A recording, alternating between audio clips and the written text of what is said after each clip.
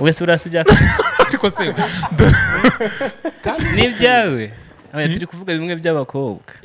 Za sikamu za sikamu Ese yamara uzi ko byamunaniye we? Njyewe Ese- mbona ajya nko kwandika kano karirimbo ruri mu bantu ba hafi ari kureba ari gute? Aratekereza. igishushanyo mbonera. Kuba ufite umugore ikintu cya mbere cyo niyo mpamvu numva nagufuhira keretse guhera kuri ku buzima bwawe. Mba numva umuntu wagafuhiye umuntu ari nyina w'umuntu cyangwa umubyeyi w'umuntu kuko ni we waramwonyeje akamukuza akamurihira amashuri agakura akagera kuri ya standard The Choice Live. Ladies and gentlemen, your man is in the building. Welcome to the show once again, my brother. umwana w'umushi wimutera inuzi Ibyangwe sha. ibyangwe ntangiye kugira zahabu umwana. W'umushi tumusimbize. Kariya kabura wakubise umuntu nagusaba iki? Uretse twumva umuntu nagusaba kumwataka ntuzigera umusondeka.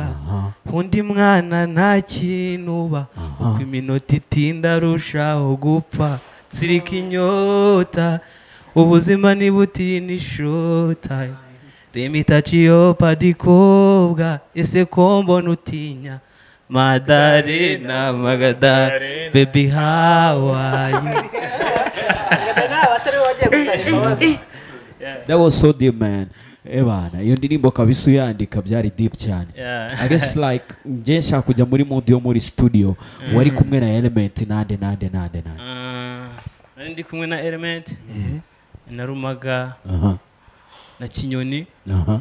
eh none yakira Eh, Wow. kinyoni ataritaba imana kabisa twari turi kumwe mbo n'abandi bashuti banje. Nibo nshaka kumenya actually abo bandi bo urebye nta nubwo nari cyane Eh. hari umuntu nka Brenda wari urimo? Oya Eh.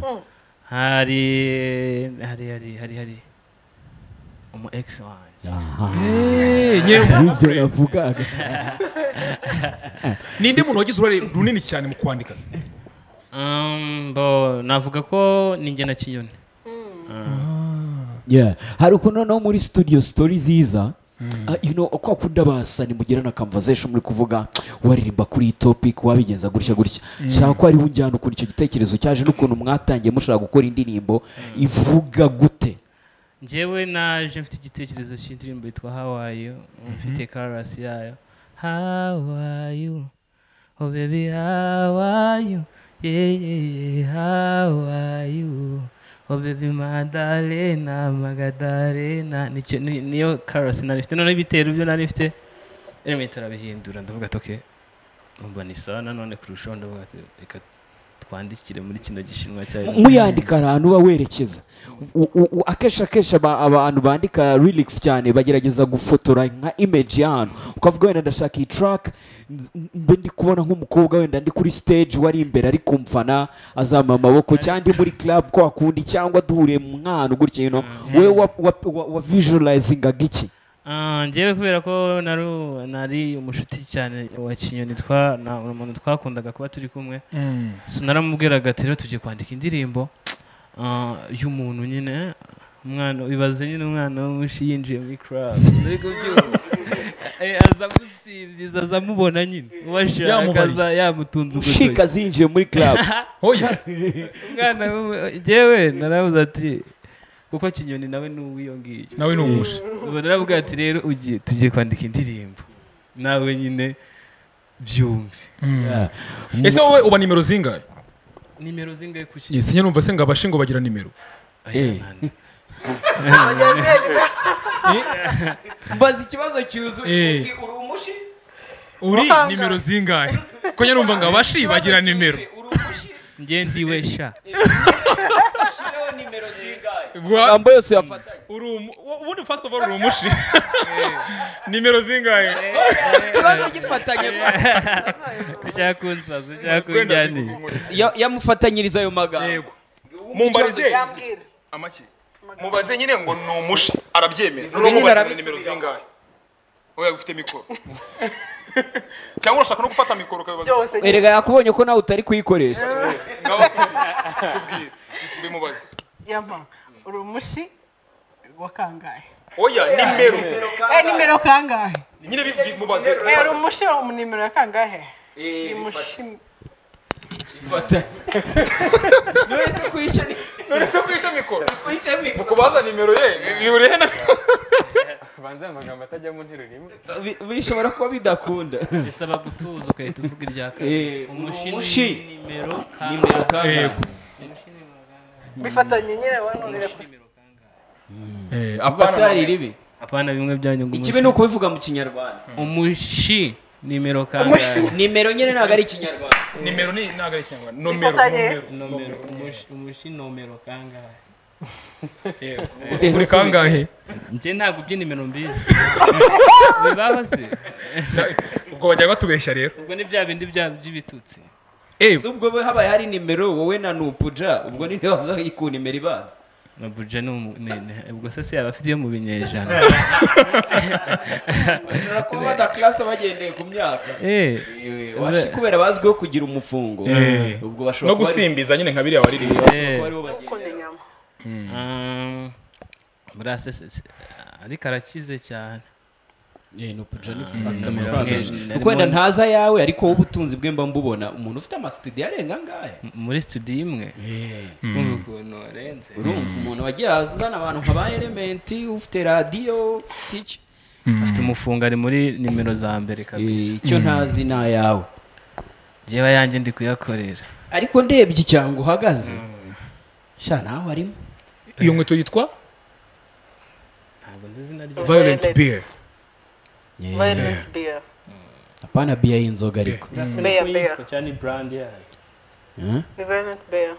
Abona ari ari company brand. yayo. Eh, ariko ni nziza wenda sinabyemeza cyane ko atari njye yambaye njye ntabwo ngenda ngendeba ibyiza nyine nkabireba nkavuga ati ibintu by'ama ibintu by'amaburandi urasa neza kabisa. Urakoze cyane. Ariko nawe wambaye neza kabisa Eh, wambaye ndagerageza wambaye bambwiye nka felakuti yikubita. Yambaye nka felakuti agiye kubatamo. Bambwiye kuri buze hano ndavuga ntiwamukira uriya muhungura bibaze ko babu yampamagaye ati eh. Nashyizemo ingofero natayemo ingofero ati kandi nawe n'umusatsi warameze Ati ubwo- noneho yabivuganyeho na burenda njyewe ingofero nsanga ntayo mfite. Eh. ndavuga ati nanjye reka ndebe ukuntu nashira inyota. Akantu k'ubufera Eh, Eh. eh umusatsi warameze yama. Eh, warameze yari afite uruhara?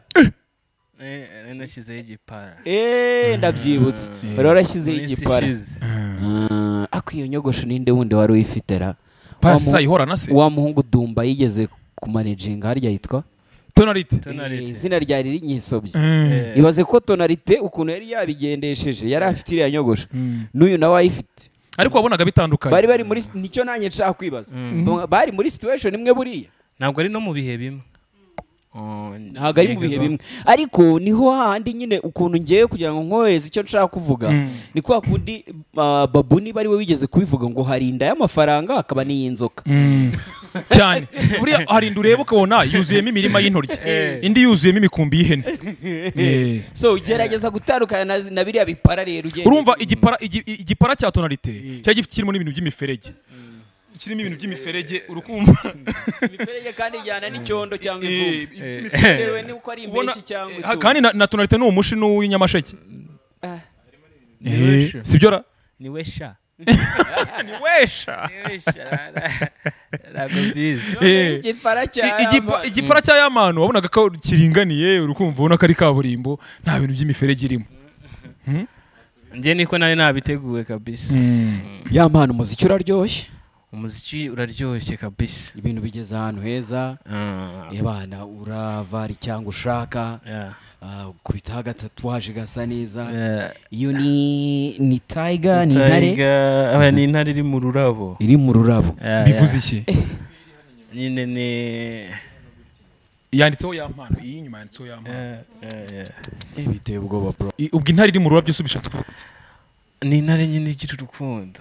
Ah, intare ifite urukundo. Eh, ifite ubumuntu. Ntari kuzibona neza kambe nkwema amarinete ku kaboko ko hirya hari handitse Wagira ngo ni igitagangurirwa. hejuru oya kuri bice- kuri biceps. Disipurine disipurine bajya bakuzumingira hariya. Disipurine uramenye ntube nka wa muntu babajije ngo urwawe ruragira he? Akavuga ngo hano.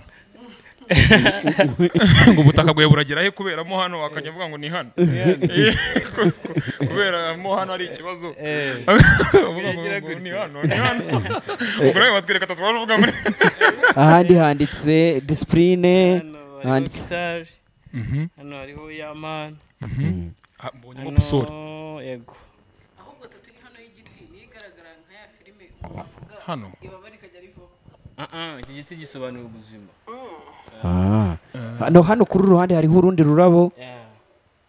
Flora Florie mu mazina yanjye nitwa nitwa Florie. Mu izosi imisi Hariho ndabona umusaraba inyenyeri bya bisambo bitatu se subiza Eh, bimwe byabambanwe na yesu biriya bisambo bikwigisha iki oya bikwigisha ahubwo we ni ikihe muri byo bikwigisha iki cyangwa uri ikihe muri byo njyewe ikintu cya mbere nkunda ziriya sitori z'aba ari abagabo bari abagabo babaye ibyamamare bizahoraho bitewe n'ibitendo byabo niba hari uri ku waba wapfuye kubera gucungura abantu hari n'uwapfuye nawe ari kwicungura bari babiri. So rero ni abantu bapfuye bari mu rugamba ubwo wowe bitewe na situation waba umwe muri bo bitewe n'aho ugeze? Ufata uwo bijyanye n'aho uri. njyewe ngerageza kwizera. Mbo ah, kandi bari abagabo bose banditse muri bibiliya so uwo ngerageza nyine kwizera n'urimo hagati. Ya izo tatuwaje washyizeho zirasibamwa hoya ni nka zingahe ah sibwo nazibura ni nyinshi ko no hari n'indi twa- tutavuze iriya ni inyuma mu izosi? Iyo mu mugongo yo twayivuze. Yeah. n'izindi. hari n'izindi tutabona? Eh, n'izindi. Eh, umuntu ni mugari. Ni munini. none se nk'ubu kutamenya umupango w'imana ugize nka gutyo ugakizwa? Eh, ni ukujya bibabwira nyine ati nari eh, Ni wari iki? wajya ubwira ngo wari iki? Wajya ubwira ngo wari ko nari we nyine. Eh, nari we. Abuze ukuntu abivuga y'abana. Noneho azakurikiraho ku maguru.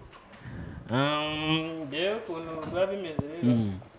Tatuwaje nyishyiraho kubw'impamvu runaka. Mm. ni n'uburibwe. So rero kugira ngo nange n'amaraso arameneka kugira ngo nange icyo gitambo biba bisaba ko hari ikintu runaka nyine ndi uri kurwanira ndi kurwanirira ndi kurwana na cyo ndi ndi guha umwanya nyine ndi kuvuga ati ububabare ndi guhura nabwo? Buhwanye na buhwanye na cyo kandi birarangirana na cyo yego. Kandi ujya kuzikora bose bazishyiriye igihe kimwe zirarangira. Ah, ah, ntabwo bazishyiraho Eh, wa- umunsi umwe wahava se? watagangara. Ngo wataganga ibaze niba kazishyizemo akumva uko biryana akajya yongera agasubira. Oya ni ugushyekirwa ukibeshya bakagukozaho urushinge. Noneho mu ijosi walayi ugashyiraho urushinge bakagutera barakomera. tatu ya mbere. Noneho ugahura n'umwaritiste uzi gukora tatu nziza. Urabona umwaritiste ni umwaritiste mwiza cyane ni umuhanga wabanje iyihe nabanje yera nabanje yo kunda. Yanditseho ngo iki?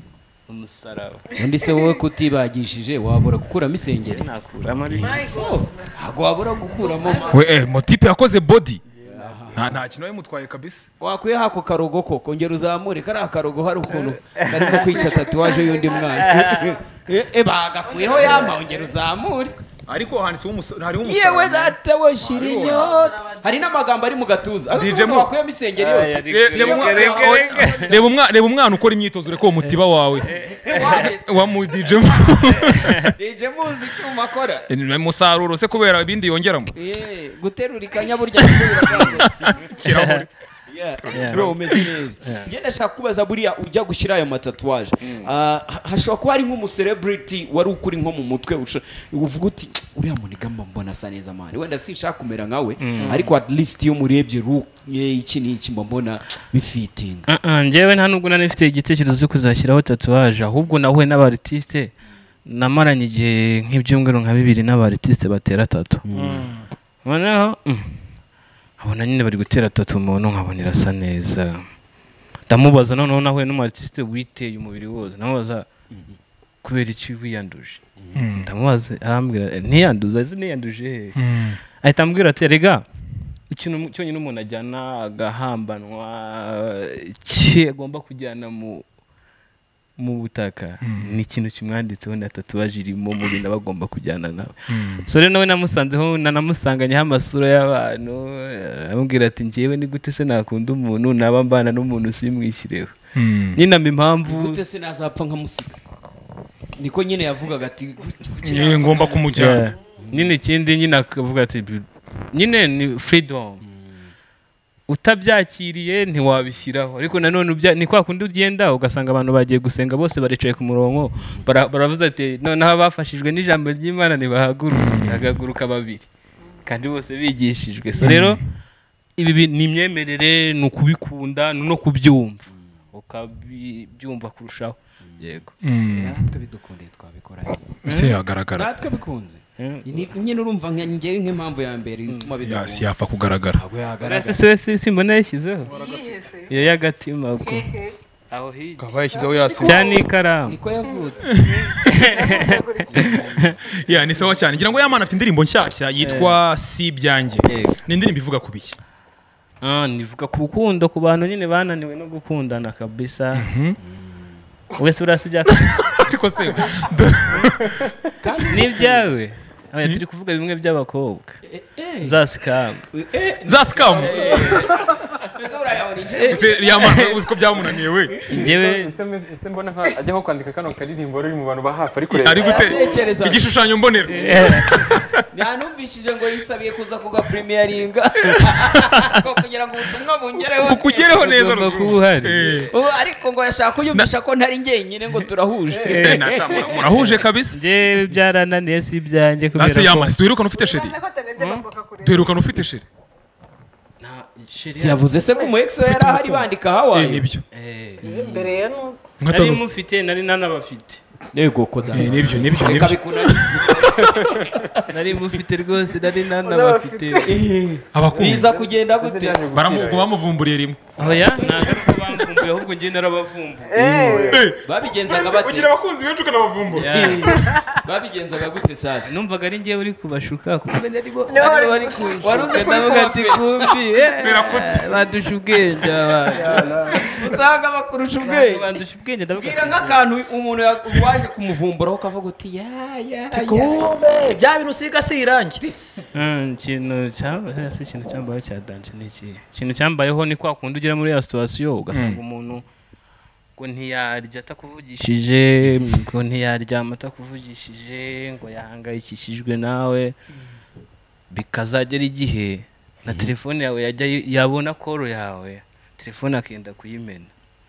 Nkavuga ati "Mm, ni gute ukunda umuntu. Njye impamvu nakundaga benshi numvaga urukundo nyine ni gukunda. Urwuzuye nyine urufite ari rwinshi.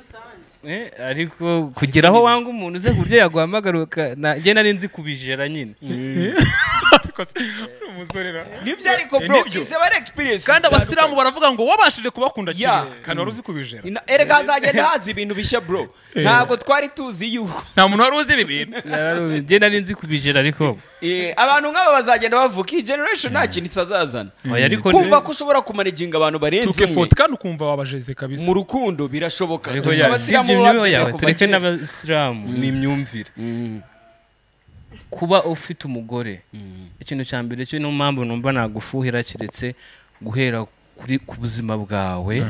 Mba numva umuntu wagafuhiye umuntu ari nyina w'umuntu cyangwa umubyeyi w'umuntu kuko ni we waramwonyeje akamukuza akamurihira amashuri agakura akagera kuri ya standard nyine amushyiraho amafaranga. Noneho umuntu uraje kubera ko uri kumubwira ngo uramukunda gusa ugiye kugerekaho kumufuhira. Kumutegeka imibereho. Kumutegeka uko abayeho kumujonjoresha ibyo akwiye kujonjora agakora mu buzima bwe. So rero hari igihe ubona nyine utangiye kujena umuntu kandi umuntu akwiye kubaho akongera akabaho paka apfuye. Uko abyumva uko uko akoreshwa. Ubwo se nutabona umuntu wemera ko umugira n'aho aba- umushyiraho abandi ntabwo uzigera ukundana ntabwo uzabasha oya kujya- ibyo ngibyo byo gushyiraho aba we. Kano reba ukuntu ungana sibyo Mm.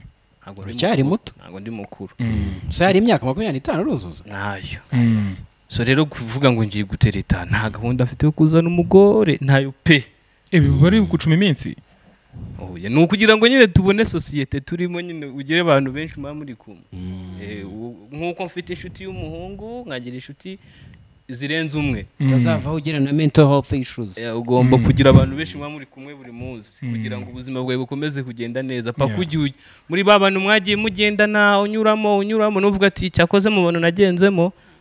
Uyatandukanye n'uyu. Mm. ni bwo uhita uhitamo uhitamo kugira umuntu umugore. Ariko igihe njye nafite igitekerezo ni ukuza nkabanza nkamenya uko uyu burya atekereza utya uyatekereza utya uyameza utya uyakora utya. Mm. turi kubyumva se? Cyane. kandi namwe murabizi ariko muri kuza birumvikana ubwo uvuga ko atari ibyawe noneho gute mu ni byo na yo nagiye kumubaza ni na byo uririmba muri iyo ndirimbo.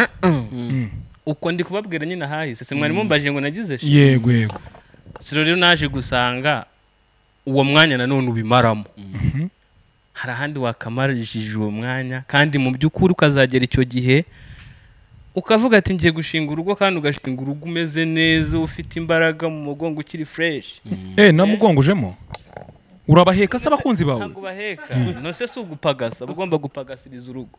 Kuba ufite imbaraga nyine uri tayari. Rero iyo warazimariye ahandi hantu ejo mu gitondo utangira ibintu byawe biribwa n'abandi batoya bari mu gihe kandi cyabo. nta rugo kera nta Ariko rugo byumva kera rutagiraga urubariro. Eh, Eh, kabisa. Kandi ruba rugomba gu- gu- gu- gu- gu- gu- ha? kubaho. urubariro se ugira ngo urubariro ugira ngo ruhanuka mu kirere. Wapi? ugomba kuruzana ukarutera. Ukaruteraho kabisa.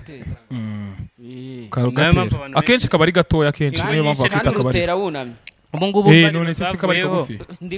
Haje imbwa. Mhm.